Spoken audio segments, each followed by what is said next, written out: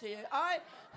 Because I've started dating younger men, which is a brilliant idea because it means that the oh you're you're safe, Rob. So it's it's uh, you don't have to worry. But I no, I've started dating younger men, which is a brilliant idea because it means that the older you get, the more there are to choose from. It's a win-win situation, Fiona. You might want to make a note of that.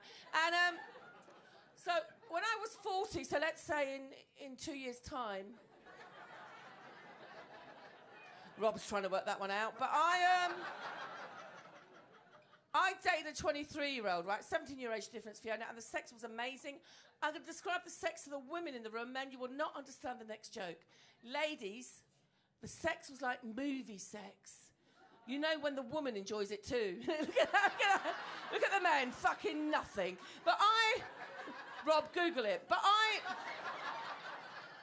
honestly, the sex was fantastic, right? I remember my best friend met him and she went, Oh, God, he's gorgeous. Goes, Pete, you didn't meet him in your mid 20s. I thought probably not. He would have been eight. Do you know what I mean? That is. Rob doesn't get that. Never mind. Uh,